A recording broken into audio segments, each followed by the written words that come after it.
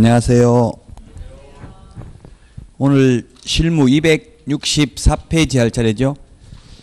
이 실무는 앞에 부분은 거의 출제되지 않았습니다. 28회 작년 시험에 실무가 매수 신청 들에서 한 문제 경공매 주택임대차보호법 상가 건물임대차보호법 부동산 실권리자 명의 등기에 관한 법률에서 각각 출제됐습니다.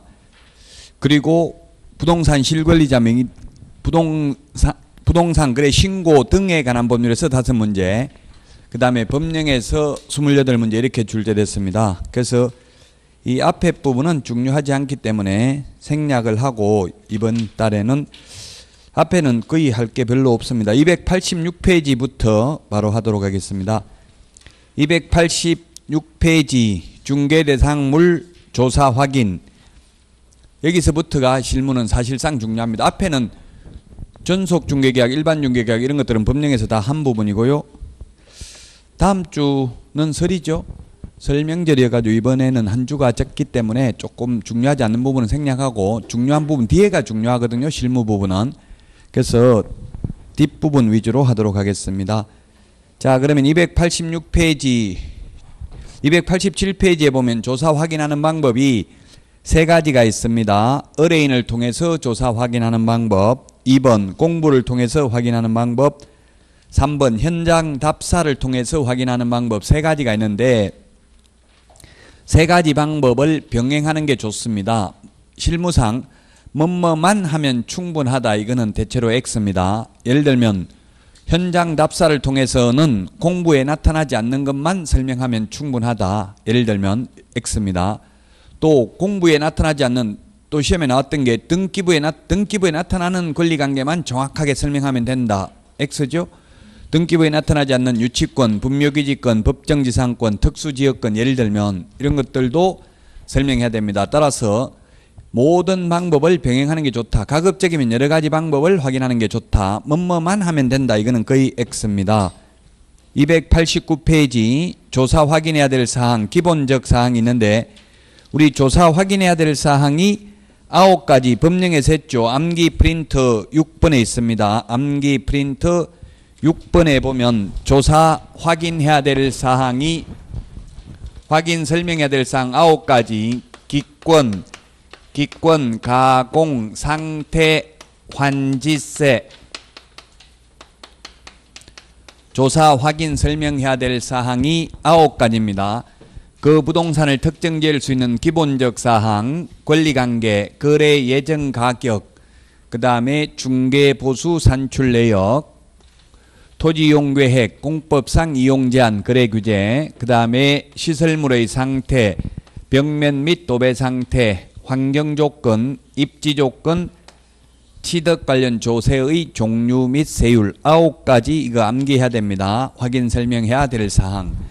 그 아홉 가지 중에서 먼저 이제 289페이지를 보면 소재지가 나와 있는데 소재지는 소재 플러스 지번 즉 리동 플러스 지번까지가 소재지입니다. 그래서 시험의 과거에 이 부동산의 소재지는 서울특별시 중구 명동 따옴표하고 의식으로 이런 식으로 지번 설정 단위 지역까지 구체적으로 조사 확인하여 설명하였다. X로 출제됐습니다. 뭐가 빠졌기 때문에 번지수가 빠졌기 때문에 그렇죠. 명동 땅 비싼데 명동이 다 넣거냐 이렇게 말할 수도 있잖아요. 그래서 명동 몇 번지입니다. 이렇게 해야 되고요. 다만 토지인 경우는 번지까지만 하면 되지만 공동주택인 경우에는 동호수까지 조사 확인해서 설명해야 되죠. 건축법에서 공동주택은 아파트, 연립, 다세대, 기숙사입니다. 주택법에서는 기숙사가 또 주택이 아닙니다. 예, 근데 건축법에서는 이 아파트, 연립, 다세대 이거는 반드시 동호수까지 조사 확인해서 설명해야 되고요. 단독주택, 단독, 다중, 다가구, 공관. 건축법에서는 공관도 단독주택인데 또 주택법에서는 공관은 단독주택으로 분류하고 있지 않습니다. 주택법과 건축법이 달라요. 법마다 쓰는 용어가 다르다고 했습니다. 그래서 단독, 다중, 다가구 이런 것들은 다가구는 동호수 설명하지 않아도 됩니다. 어차피 단독주택이니까 주인이 한 명이니까 편의상 출입문에 적혀 있는 101호, 102호 이거 설명하지 않았다 하더라도 우선 면제, 최우선 면제 받을 수 있죠. 전입신고하면은.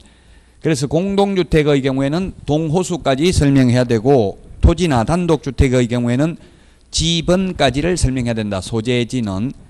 그래서 우리 매매계약서를 적을 때 현업에서 중개사무소에서 어떻게 하냐면은 부동산의 표시, 계약서 메뉴에 보면 부동산의 표시 이렇게 적어요. 부동산 표시에는 소재지를 적습니다. 지번을 적습니다. 근데 맨 밑에 보면 매수인, 매도인 인적상 적죠? 그때는 도로명 주소를 적어요. 그래서 아파트 팔 것 같으면 주소를 두 번 적어요. 지번 주소도 하나 적고 도로명 주소도 적고 이렇게 하죠. 현실은. 자, 그 다음에 양가로 2번 면적입니다. 면적은 미터법을 사용하고 있습니다. 적관법이 아니고 그래서 제곱미터로 사용을 해야 된다. 1제곱미터는 0.3025평이고 1평은 1평은 3.3058제곱미터입니다. 이게 환산하는 것도 10년 전에는 출제가 되었는데 최근에는 출제되지 않습니다. 왜냐하면 제곱미터라고 쓰라고 해놓고는 1평이 몇 제곱미터냐 이렇게 자꾸 낸다는 것은 결국 평을 사용하라는 말밖에 안 되잖아요. 그래서 최근에는 출제되지 않고 있습니다. 왜냐하면 계량에 관한 법률 위반입니다. 즉 척관법을 쓰면 다시 말해서 평이라고 상업용 목적으로 쓰면 100만 원 이하의 가태료 대상입니다. 따라서 요즘은 시험에 거의 출제되진 않는데 그냥 우리는 면적은 토지대장, 임야대장, 대장을 보고 기재하면 됩니다. 면적 같은 것은 등기부보다는 대장이 더 우선합니다. 그 다음에 이게 주택일 경우 단독주택 이런 경우는 3층까지 있으면 연면적을 연면적도 기재를 해야 되겠죠. 그 다음에 3번 290페이지 양가로 3번 지목입니다. 지목은 공간정보 구축 및 관리 등에 관한 법률에 보면 28개의 지목이 있고 토지대장, 임야대장에는 정식 명칭이 기재되어 있고 지적도, 임야도에는 부호, 약호로 표시되어 있죠. 그래서 1번지, 2번지, 3번지, 4번지가 있으면 전, 원, 차, 장 이렇게 약호로 표시가 되어 있습니다. 부호로. 자, 그런데 28개 중에서 24개는 두 문자, 일음절, 첩대가리를 보로 사용하는데 이 4개는 자문자, 이음절, 두 번째 대가리를 보로 사용합니다. 천원, 차장은 천은 하천이고요. 원은 유원지입니다. 그래서 시험에 지적도를 열람해 보니 지목이 유라고 돼 있어서 이를 유원지라고 설명했다. X죠? 유는 유지입니다.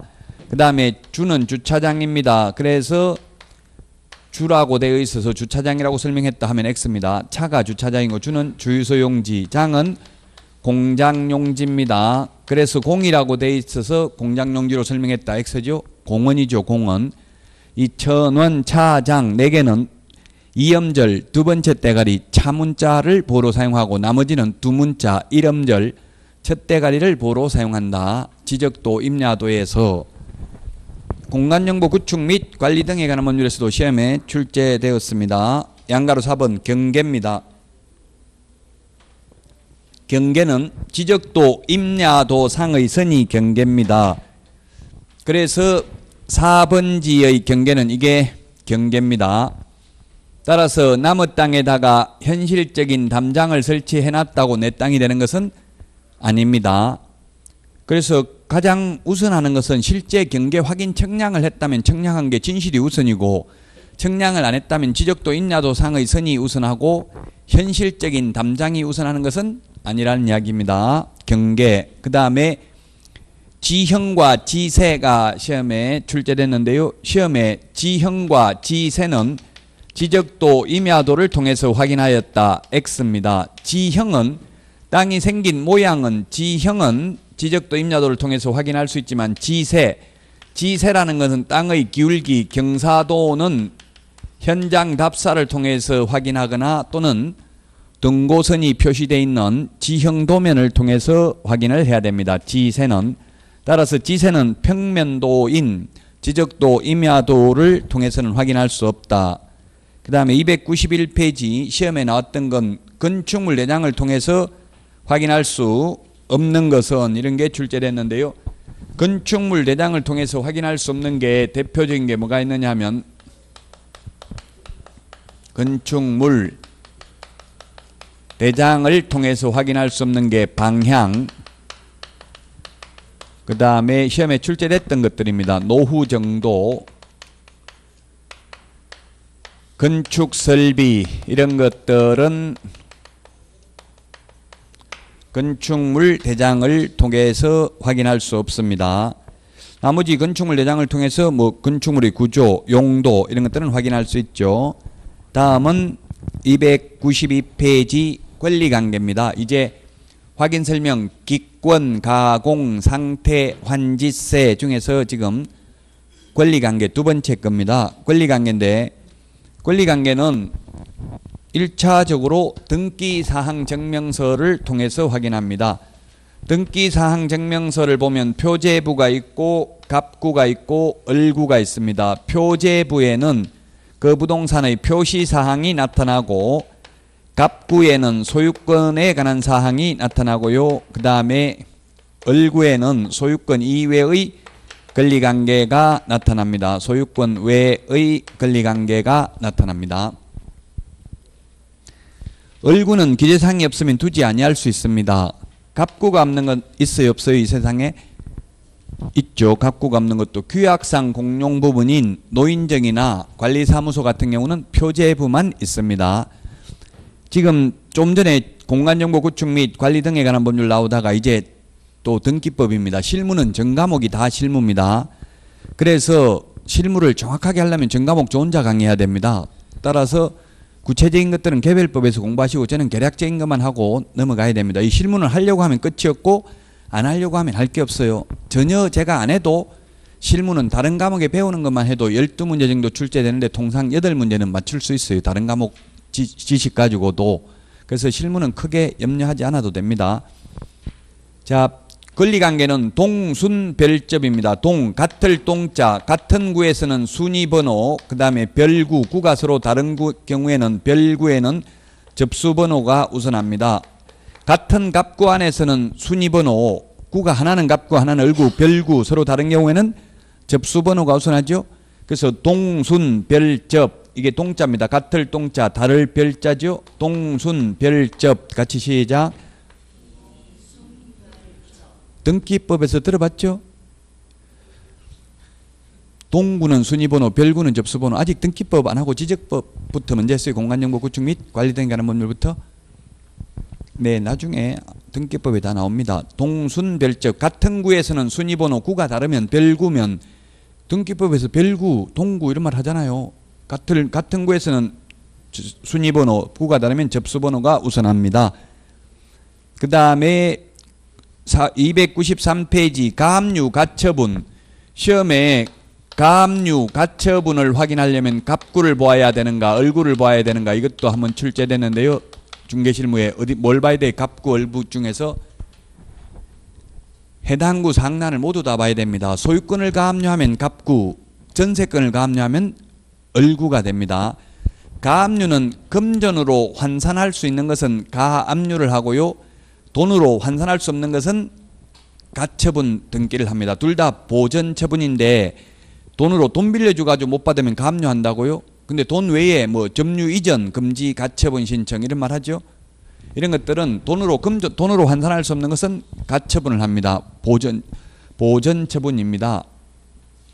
자 어쨌든 이 가압류 가처분은 모두 갑구 얼굴을 모두 다 봐야 된다.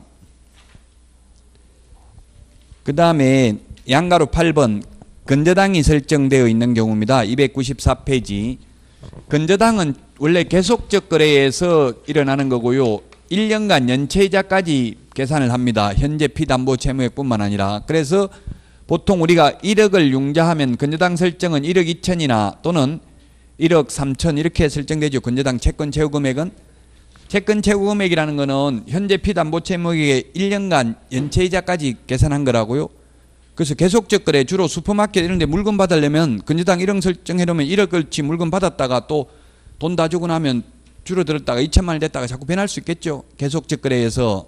그래서 이 근저당이 우리 시험에 나오면 채권 최고 금액만 설명하면 되고 현재 피담보 채무액은 설명할 의무는 없다.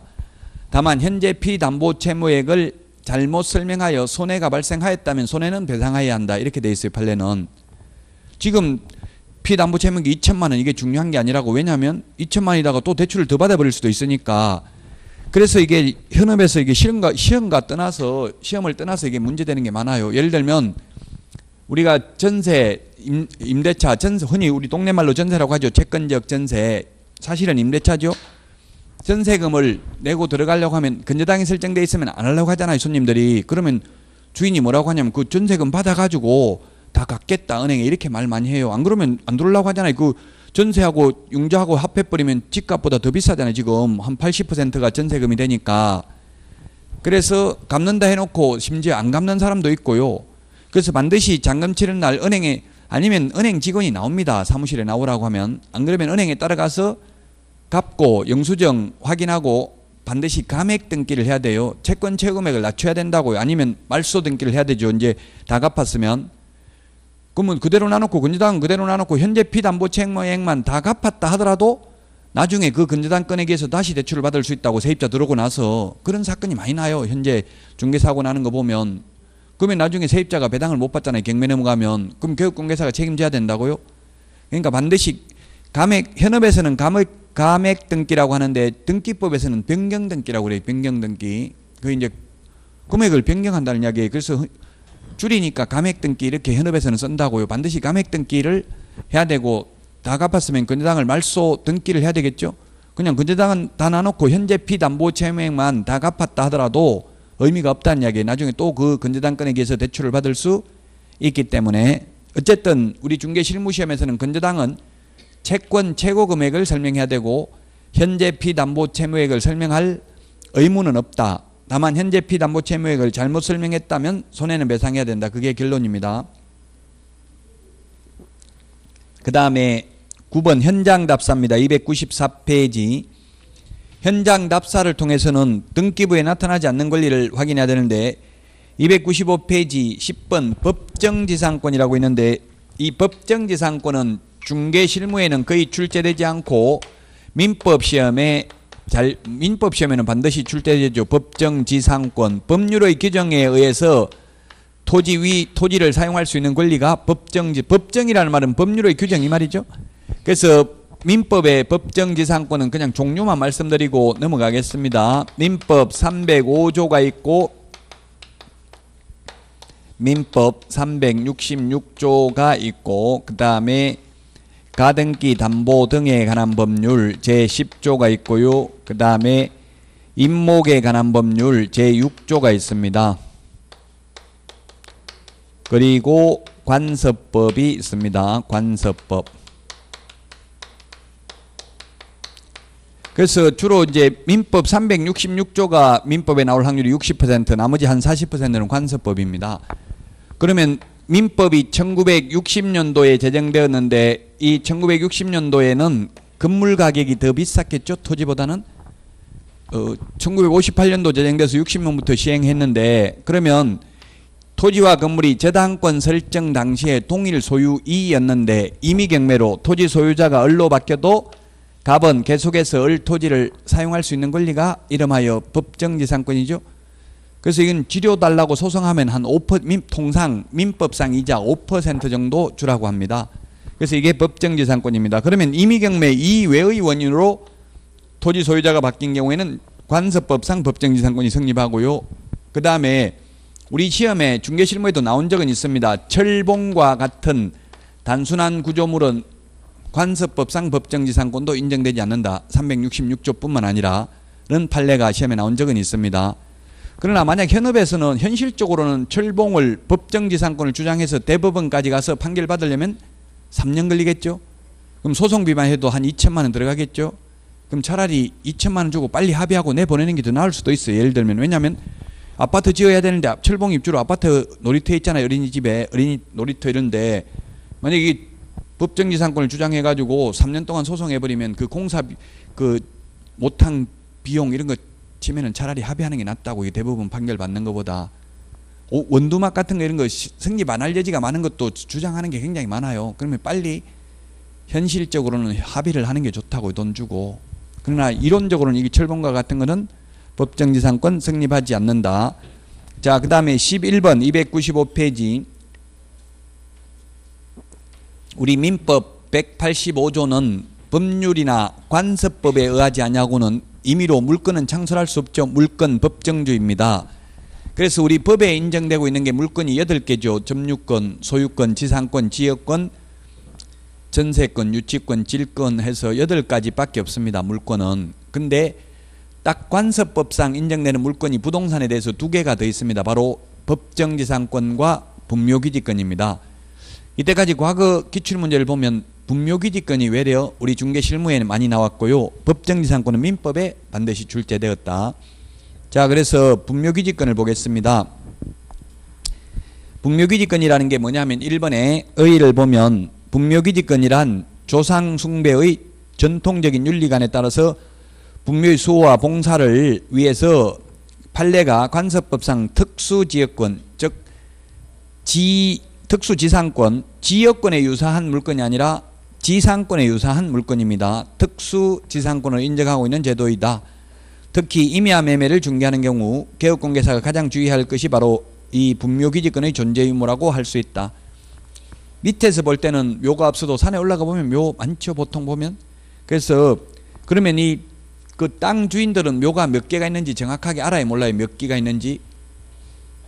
잘 모르더라고요. 저도 시골에 산이 부모님 살아 계실 때 물어보니까 우리가 묘는 알아도 남들이 몰래 갖다 설치한 게 많이 있더라고요. 그래서 정확하게는 잘 모르겠다더라고요 그래서 이 실제 매매할 때는 이게 중요하다고요 그러면 예를 들어서 특약으로 뭐 이장할지 안 할 건지 적어야 되겠고요. 당연히 이장한다겠죠. 돈을 많이 받으려면 이장 안 한다고 하면 돈 많이 못 받겠죠. 그만큼 감액 청구를 해야 될 거고 그럼 만약에 잔금 치를 때까지 인장 안 하면 뭐 분묘 일기당 예를 들면 몇 천만 원씩 감액하기를 한다든지 뭐 이런 식으로 특약을 넣으면 되겠죠. 특약은 꼭 미리 뭐 어떻게 한다고 정할 수는 없어요. 그때 합의해가지고 그때 그때 상황에 따라 다를 수 있으니까요.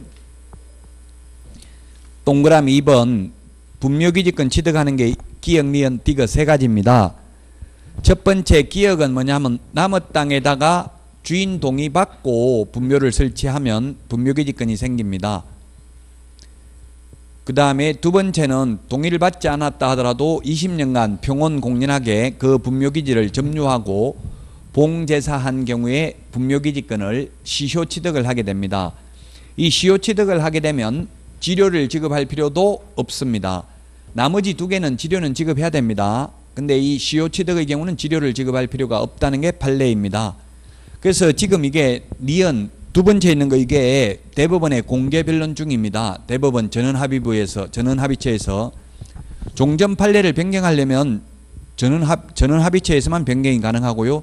또 중요한 사건인 경우는 전원합의체에 해부를 합니다. 그래서 이게 전원합의체에서 지금 공개 변론 중인데 지금 현재는 나무 땅에다가 20년 넘게 묘를 설치해 놓으면 영원히 사용할 수 있고 지료도 안 내린단 말이에요 지금은 근데 제가 볼 때 앞으로 곧 몇 년 안에 판례가 변경될 것 같아요 앞으로는 지료를 내든지 아니면 이장을 해주든지 아마 그런 식으로 나올 가능성이 많아요 지금은 어쨌든 이- 우리나라 전통 간섭이 더 우선된다는 이야기에 죽은 사람들을 숭배하는 이런 전통 간섭이 우선시돼서 영구 무한히 나무 땅을 사용할 수 있다고 묘를 설치해가지고 20년 지나버리면 지금 시험에 나오면 어쨌든 아마 뭐 그 전에 시험 보기 전에 판례가 변경되면 말씀드리도록 하고요. 그 다음에 세 번째 디귿 이것 때문에 중개 실무상 중요하다고요. 자기 땅에다가 묘를 설치하고 땅을 팔면서 분묘를 이장한다 안 한다 이런 말을 미리 하지 않은 경우는 분묘기지권이 생깁니다.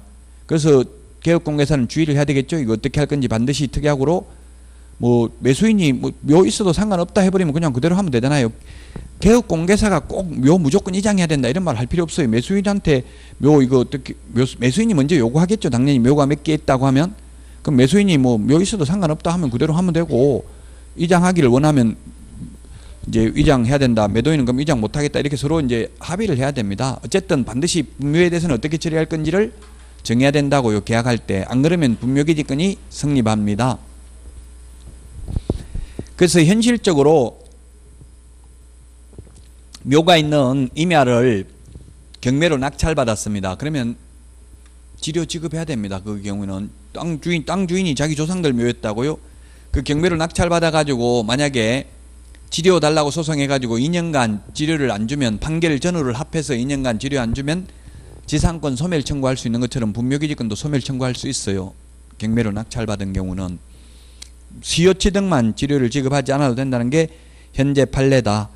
동그라미 3번 공시 방법인데 공시라는 말이 뭐예요? 공시라는 말이 공개 표시하는 걸 공시라고 그래요. 표시할 시자입니다. 공개 표시하는 걸 공시라고 하는데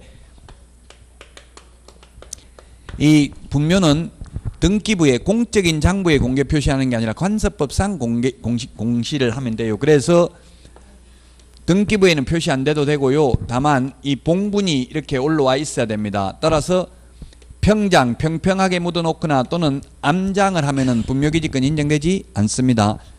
평장이나 암장은 인정되지 않고 암매장하는 걸 암장이라고 하죠. 밑으로 파고 묻어놓는 거 이런 거는 분묘기지권 인정되지 않고 봉분이 있어야 된다. 봉분이 봉분이 뭐예요? 이렇게 불룩하게 이렇게 우리나라는 이런 식으로 묘를 설치하고 있죠.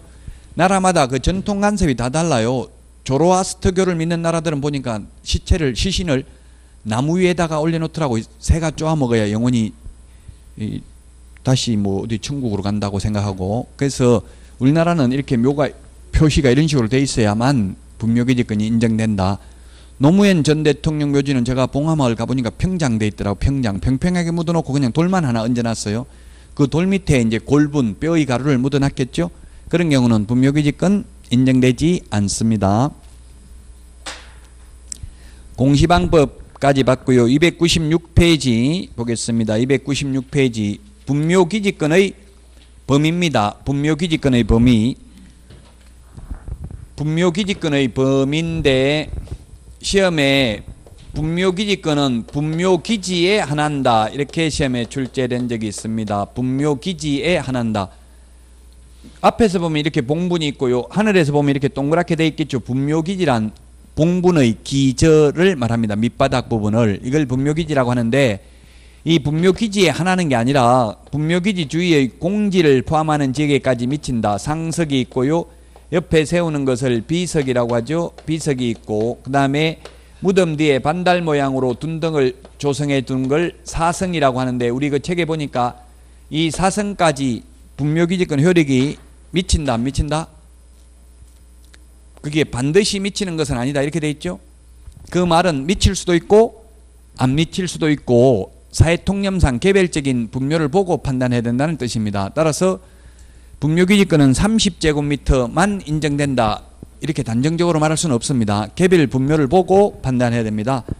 그게 우리 교재 네 번째 줄에 반드시 미치는 것은 아니다. 이렇게 돼 있잖아요.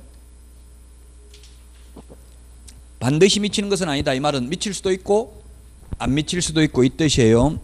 그 다음에 동그라미 5번 지료는 시효 취득하는 경우는 지료를 지급할 필요가 없다. 그 외에는 지료를 지급해야 됩니다. 그 다음에 동그라미 6번 존속기간 영구무한히 존속됩니다. 봉제사하고 관리하는 한. 그래서 이게 문제라는 이야기예요. 나무 땅을 영구무한히 사용하면서 지료도 한 푼도 안 내고 사용할 수 있다는 게 이제 문제가 되겠죠. 그래서 아마 인터넷에 분묘기지권 염소 이렇게 검색해 보면 나올 거예요. 인터넷에 네이버나 다음에 분묘기지권 염소 이렇게 하면 예, 유명한 사건이 나와요. 그 양평에서 문중산을 그 정확한 거는 지금 면, 면, 면적은 정확하게 제가 기억을 못하는데 몇십만 평을 경매로 낙찰받았어요. 경매 매각 물건 명세서에 분묘기지권 성립 여지 섬 이렇게 하면 아무도 안 사죠. 가격이 자꾸 떨어지죠. 왜냐면 가치가 없잖아요. 분묘가 50개가 있어서 산에 50개나 있었다고 종중산인데 그 펜션 사업하려고 펜션 지어가지고 분양하려고 보는데 묘 군데군데 펜션 사이에 전부 묘가 있으면 분양 잘 되겠어 안 되겠어요?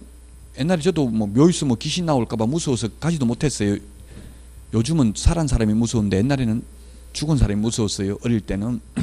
그래서 낙찰 받아가지고 이제 내용 증명을 보낸 거예요. 내가 소유자가 됐으니까 묘 이장 해달라. 내가 토지 소유권을 취득했다. 이렇게 내용 증명 보내니까 문중에서 변호사와 한테 알아보니까 이거는 분묘기증권이 성립되어 있으므로 이장할 뭐 변호사한테 알아보니까 이런 말 안 했는데 알아봤겠죠. 이장할 필요가 분묘기지권이 성립되었으므로 이장할 수 없음을 알려드립니다. 이렇게 해가 다시 내용 증명 온 거예요. 그러니까 낙찰 받은 사람이 그 염소를 사다가 묘 여기 봉분에다가 여기다 딱 울타리 쳐가지고 묘 염소 두 마리씩 나눠가지고 동영상 찍고 사진 찍어가지고 다시 보내는 거예요. 당신들 조상들이 염소발 아래 집 밟히는 것 와서 구경하시기 바랍니다 해가지고 내용 증명 보내고 이거 봉분 다 염소가 뭉개 깨 뭉개버리면 분묘기지권은 상실되는 건 아시고 계시죠. 분묘기권 상실되면 이거 밀어버리고 여기다가 다 건물 지을 겁니다. 이렇게 협상력을 높이기 위해서 일부러 벼랑 끝 전술을 쓰는 거죠. 협상력을 높이려고. 그러니까 문중에서 막 와가지고 흥분해가 싸우다가 그러면 옮겨라. 한쪽 귀퉁이에 다 모아서 옮겨주 그 산에다 옮겨주겠다. 옮기는 값 우리가 다 되겠다. 그리고 보상도 한 기당 200만 원씩 해주겠다. 그래서 한 2억 5천인가 들어가지고 다 옮겼어요. 한쪽 귀퉁이로 몇, 몇십만 평 되니까 50개 뭐 한 군데 옮겨놔도 상관없잖아요. 한 군데로 옮겨놓고 나머지 펜션 지어서 분양해가지고 뭐 수백억 벌었다 이런 전설적인 이야기가 인터넷에 한번 치보라고요. 분묘기지권 염소 이렇게 검색하면 돼요.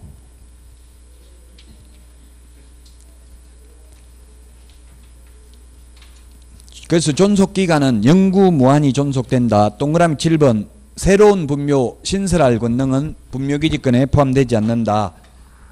그 말은 무슨 말이냐면은 부부 중에서 남편이 먼저 사망을 해가지고 20년이 지나가지고 여기에 분묘기지권이 성립되었다 하더라도 여기다가 새로운 분묘 남 배우자 부인을 쌍분 형태로 이렇게 봉분이 두 개 있는 걸 쌍분이라고 하죠.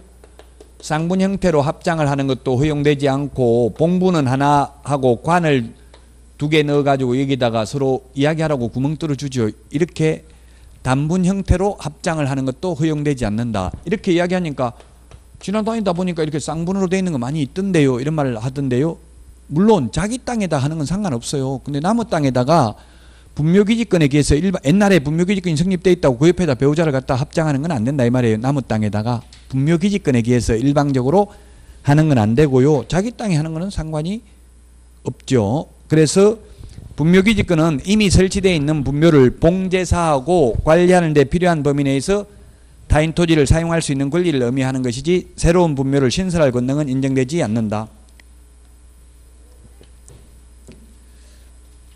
그래서 지금 판례 지금까지 말씀드렸던 판례를 거기다 적어놨고요. 그 다음에 298페이지 법정저당권은 시험에 거의 나오지 않습니다. 민법 649조인데 토지 임대인이 변제기를 경과한 채후 2년 차임 채권에 의하여 그 지상에 있는 임차인 소유의 건물을 압류한 때에는 저당권과 동일한 효력이 있다. 그래서 법정 저당권 토지 임대인을 보호하기 위한 규정이죠. 시험에는 거의 안 나옵니다. 참고로 보시고 그 다음에 미공시 중요시설 물건에 관한 사항입니다. 어, 예를 들면 정원수, 정원석 이런 거 고급 주방기구. 예를 들면 전원주택을 팔면 그 등나무, 향나무 한 그루에 2천만 원짜리도 있어요. 그러면 전원주택을 팔면 그 나무는 뽑아갑니까? 매도인이 아니면 나무는 뽑아간다는 말도 안 했고 나무는 그대로 준다는 말도 안 했어 그냥 부동산 매매 계약만 했다고 주, 전원주택만. 그랬을 때 나무는 뽑아가는 게 원칙이에요? 두고 가는 게 원칙이에요? 예, 민법 100조 2항 종물은 주물의 처분에 따른다 이런 규정이 있죠 그래서 원칙적으로는 두고 가야 됩니다 그런데 그래서 굳이 특약으로 개업공개사가 이 나무 뽑아갈 겁니까 이런 거 계약서 쓰면서 물을 필요 없죠 가만히 있어야 돼 특약은 개업공개사는 말 한마디도 안 하는 게 좋아요. 현업에 나가서는 자꾸 특약을 넣으면은 특별히 약속하는 게 특약이잖아요. 일반 민법에 일반 규정이 있는데 그걸 지키지 않고 특약을 맺는다는 건 누구 한 사람한테는 불리하죠. 한 사람한테 유리하면 다른 사람한테는 불리하단 말이에요. 그래서 현업에서는 특약 말 가급적이면 안 하는 게 좋아요. 근데 시험에 나오면 특약으로 명확하게 정하는 게 좋다 이러면 그 맞는 말이에요. 이론적으로는 명확하게 정하는 게 좋긴 하죠. 근데 안 정해도 그냥 일반 규정이 다 있다고요. 현실은. 그래서 괜히 나무 뽑아갈 겁니까? 이렇게 물으면 뽑아가려고 생각 안 하고 있던 사람이 어, 그거 뽑아가도 되냐? 그럼 뽑아갈게. 이렇게 나와버리면 계약 깨진다고. 그러면 매수인은 무슨 소리 하냐? 그럼 10억이라고 했는데 그럼 6억으로 깎자. 예를 들면 뭐 이런 식으로 하다가 보면 계약 깨지겠죠? 그래서 현실적으로는 가급적이면 특약말을 개업공개사 입에서는 안 나오는 게 좋아요. 개업공개사가 책임 안 질 말만 적어 놓으면 돼요. 특약에는. 14번 소유 재산, 소유, 소유 형태입니다. 역시 민법에는 나오겠죠. 소유 형태가 민법의 소유 형태가 단독 소유가 있고 공동 소유가 있다. 공동 소유는 인적 결합 형태에 따라서 공유가 있고 그 다음에 합유가 있고 총류가 있습니다.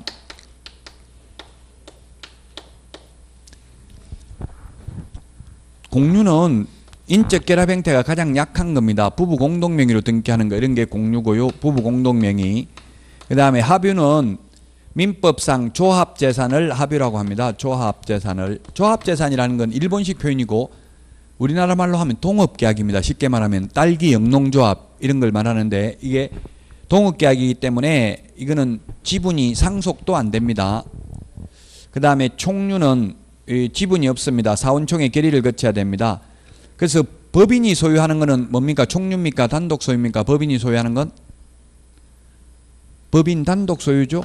법인 단독 소유입니다. 법인은 법적으로 사람 등기된 법인은 등기된 등기를 해야 주로서 비로소 법인이 됩니다. 등기라는 공시 방법을 갖춰야 자연인의 경우에는 공시 방법을 갖추지 않아도 되죠. 민법에서 자연인의 통설은 전부 노출설입니다. 어머니의 장으로부터 완전히 분리되었을 때 자연인이고 형법에서는 진통설이 통설입니다. 진통설 그 태어나고 있는데 진통을 느끼고 있을 때 그건 이미 사람이라고요. 그래서 잘못하다 그 태아, 영아 살해죄 이런 게 있단 말이에요. 그 반쯤 나온 걸 죽이면 다 나오기 전에 죽여도 그는 살인죄에 해당될 수 있다는 얘기. 그러나 민법상은 완전히 전부 노출되어야 사람이 되는 거예요. 민법하고 형법하고 또 달라요. 자연인 되는 시점이 법마다 항상 다 쓰는 게 다르다고 했어요. 용어가. 그래서 등기된 법인은 단독 소유고요. 등기 안 된 법인이 비법인 사단, 권리 능력 없는 법인 등기를 해야 권리 능력이 있으니까 총 어, 그래서 문중, 종중 등기 안 된 문중, 종중 이런 거는 총류고 등기된 문중이나 종중이나 법인은 어, 교회 같은 거는 또 법인 단독 소유입니다. 보통 뭐 순복음 교회 이런 거는 등기가 돼 있더라고요. 그러면 법인 단독 소유예요. 교회도 아주 한 신도 200명 밑으로 이런 게 총류지 아주 크면 다 법인으로 돼 있어요. 대부분 등기돼 있는 경우가 많아요. 자, 그래서 만약에 우리 중개 실무에는 어려운 게 안 나오고 민법에서 이제 이게 소유 형태가 나오겠죠. 공유라면 A, B, C가 공유라면 A 공유 지분만 처분하려면 나머지 공유자 다른 공유자 동의받을 필요 없죠. 공유 지분만 처분하려면 그런데 공유물 전체를 매각하려면 다른 공유자 동의받아야 되고요. 합유인 경우는 합유 지분만 처분하더라도 다른 합유자 동의받아야 됩니다. 총류는 지분이 없기 때문에 사원총회 결의를 거쳐야 되고 종중규약이 있으면 규약에 따르면 됩니다. 그래서 총류인 경우 문중 땅인 경우는 장남하고 장손하고 계약 체결하면 무방하다 이렇게 하면 X죠. 예, 사원총회 결의가 있어야 됩니다. 아니면 종중 규약이 있으면 규약에 따라야 됩니다. 규약에 뭐 종손이 임의로 처분할 수 있다 이렇게 돼 있다면 해도 되겠죠. 그걸 확인을 해야 된다고요. 그래서 299페이지 공유, 합유, 총유에 대해서 간략하게 살펴봤습니다. 300페이지 거래 예정 금액 거래 예정 금액은 개업 공인중개사가 계략적으로 평가한 금액입니다. 일종의 시세입니다. 시세. 그래서 만약에 예를 들면 시세가 3억을 하는데 매도인이 5억에 매물 내놨습니다. 그러면 매물 접수는 하죠. 개업공개사가. 접수는 했다 하더라도 매수인이 오면 이거 5억입니다. 바로 말하면 안 되고 좀 비싸게 내놨습니다. 만약에 마음에 드시면 가격 조정을 하셔야 됩니다. 이렇게 알려줘야 된다고 국민 재산권을 보호해야 되니까. 그래서 거래 예정 가격, 예정 금액, 예정 가액 같은 말입니다. 시세를 설명해야 된다는 뜻입니다. 그 다음에 중개보수 및 실비 금액과 그 산출 내역도 설명해야 되는데 종전에 없다가 최근에 신설됐는데 그 신설된 이유가 개업공개사들이 중개보수 영수증 삭제해달라고 했어요. 왜냐하면 우리 공인중개사법의 법정 서식을 보면 전부 다 B5 용지로 이렇게 크게 돼 있어요. 자격증, 우리 자격증도 마찬가지죠. 등록증, 자격증, 중개보수 영수증 이렇게 A4 용지보다는 좀 작긴 한데 그 A4 용지 비슷하게 B5 용지 크게 돼 있다고 이 서식이다. 그럼 영수증도 이게 옛날에 이렇게 크게 서식이 B5 용지 큰 영수증을 교부하도록 돼 있었어요 옛날에. 그러니까 개국공개사들이 불편하잖아요. 현업에서는 어떻게 하냐면 만약에 현업에서는 현업에서는 지금 영수증 교부해요 안 해요 현업에서? 현업에서 지금 영수증 법적으로는 영수증 교부할 의무 없다고요. 현업에서는 하- 할까요 안 할까요? 중개보수 받으면 영수증?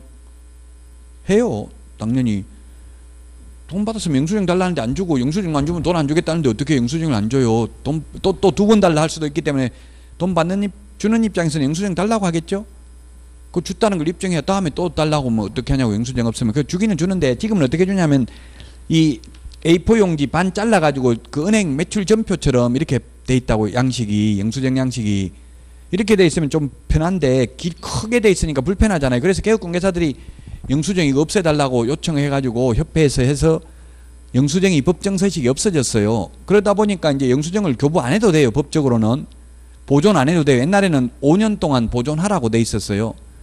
그러다 보면 중개 보수를 초과해서 받을 개연성이 높아졌잖아요. 이제 그래서 확인 설명할 때 중개 보수 산출 내역을 설명해야 되고 확인 설명서 서식에도 중개 보수 산출 내역을 기재해야 되고 계약서에도 확인 설명서 교부 일자를 기재함으로써 삼중의 보안 장치를 마련함으로써 중개 보수를 초과해서 받지 못하도록 하기 위한 조치입니다. 그 다음에 300페이지 토지 이용계획 공법상 이용 제한 거래 규제를 설명해야 되는데 그건 뭘 보고 하냐면은 302페이지 이 토지 이용계획 확인서를 통해서 용도, 지역, 지구, 구역 등을 확인하면 됩니다. 그러나 303페이지 그 유의사항 2번에 보면 이 토지 이용계획 확인서를 통해서 모든 용도, 지역, 지구, 구역을 모두 확인할 수 있는 것은 아니다. 철도 보호지구나 학교 환경 위생 정화구역 등과 같이 확인할 수 없는 것도 한 10개 정도 된다. 우리 용도 지역 지구 구역이 한 350개 정도 돼요. 전부 다 확인할 수 있는 건 아니다. 시험에 토지 용계획 확인서를 통해서 모든 용도 지역 지구 구역을 모두 다 확인할 수 있다. X로 출제됐습니다. 그래서 학교 환경 위생 정화 구역은 알아보려면 어떻게 하냐면은 시도 교육청 홈페이지에 가서 확인해 볼 수 있습니다. 이게 학교 환경 위생 정화 구역이 실무상은 중요하죠. 청소년 유해 시설 같은 것을 설치할 수 없기 때문에 304페이지 공법상 거래 규제 이거 뭐 참고로 보시면 되는데 공법상 거래 규제가 토지 거래 허가제 이런 게 대표적인 거예요. 허가 안 받으면 거래 안 되잖아요. 토지 거래 허가제, 농지 취득 자익 증명제, 외국인 토지 취득 허가제 이런 게 대표적으로 거래 규제죠. 허가는 안 받으면 효력이 없죠. 계약 효력이 없죠. 농지의 경우는 농지 취득 자익 증명 안 받아도 매매 계약에 효력에 영향을 미치지는 않는다는 게 판례입니다. 그 다음에 305페이지 시설물의 상태입니다. 수도, 전기, 가스, 소방, 열공급 설비 상태, 그 다음에 성강기 및 배수 시설물의 상태, 그 다음에 벽면 및 도배 상태 확인 설명해야 된다고요. 일조 소음, 진동 등 환경 조건 해야 되고요. 306페이지 입지 조건, 도로 및 대중교통수단과의 연계성, 시장 학교 등과의 근접성, 관리에 관한 사항도 설명해야 되고요. 마지막으로 기권, 가공, 상태, 환지세 아홉 개 중에서 맨 마지막이 세금인데 세금은 취득 관련 조세의 종류 및 세율만 설명하면 되죠. 그래서 이 확인 설명서에 기재되는 취득 관련 조세는 딱 세 가지만 있어요. 서식에 기재되는 건 취득세, 농어촌 특별세, 지방교육세만 기재하도록 되어 있습니다. 사실은 인지세도 내거든요. 인지세. 인지세도 내는데 인지세는 우리 은행 대출 받을 때도 인지세 내야 되죠. 그 인지세는 설명하지 않아도 됩니다. 취득 관련 조세인데도 불구하고 취득세, 농어촌 특별세, 지방교육세 세 개만 확인 설명서 서식에는 기재하면 됩니다. 그래서 지금 기권, 가공, 상태, 환지세 아홉 가지를 확인 설명해야 된다는 걸 이때까지 말씀드린 거예요. 아홉 가지 기권, 가공, 상태, 환지세 꼭 기억을 하셔야 되겠고요. 이 확인 설명서 그 307페이지 작성 실무가 있는데 이 확인 설명서 작성과 관련된 게한 문제 시험에 나오는데 굉장히 어렵습니다. 서식이 정확하게 서식을 알아야 풀 수가 있거든요. 그래서 이 307페이지 확인 설명서 작성 실무부터는 쉬었다가 하도록 하겠습니다. 오늘 내드린 문제 미리 풀어보시기 바랍니다.